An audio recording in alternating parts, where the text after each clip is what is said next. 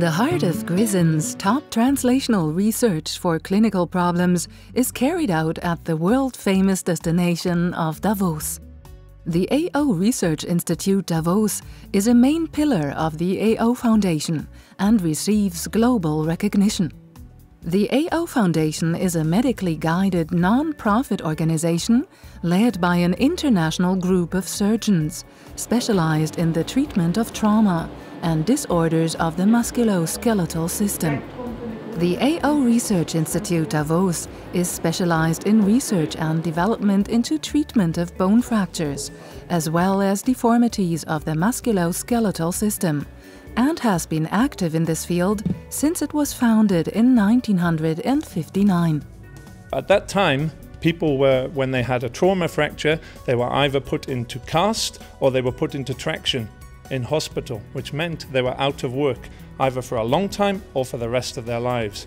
This was unacceptable for the future of Switzerland and these founders basically came with the internal fixation that would get the patients back to work again and their whole motto was life is movement and this was the beginning of AO which is now known from Davos all over the world and every company in the world uses the ideas that were invented from Davos.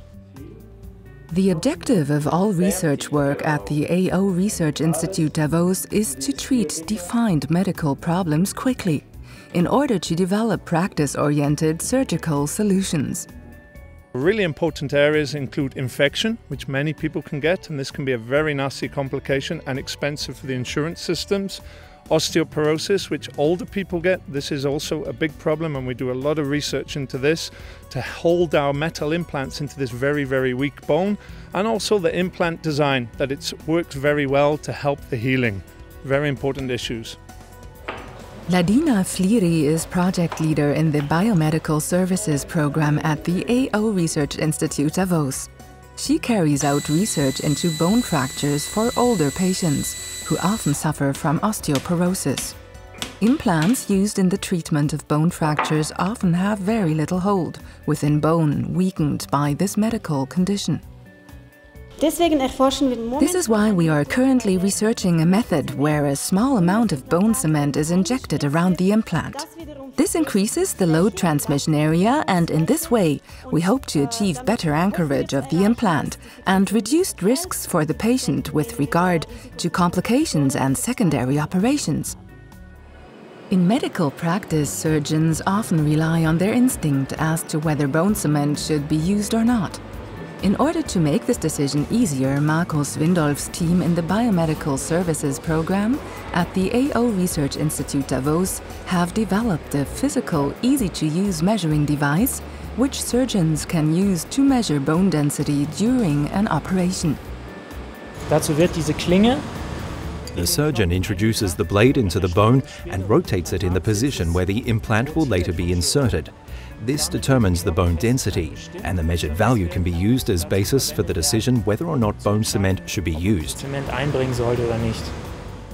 An Sermon is a trauma surgeon at the University Hospital Leuven, Belgium.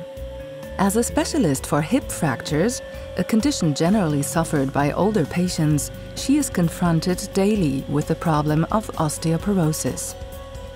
I have the opportunity to work as a research fellow here in the AO. Here I'm involved in a project on the development and the biomechanical testing of uh, new fixation techniques in osteoporotic bones as well. So this uh, fellowship gives me the unique opportunity to combine my clinical work to experimental research. The AO Research Institute in Davos is also a member of the Academia Raetica, which unites several highly qualified scientific institutes and clinics in southeastern Switzerland.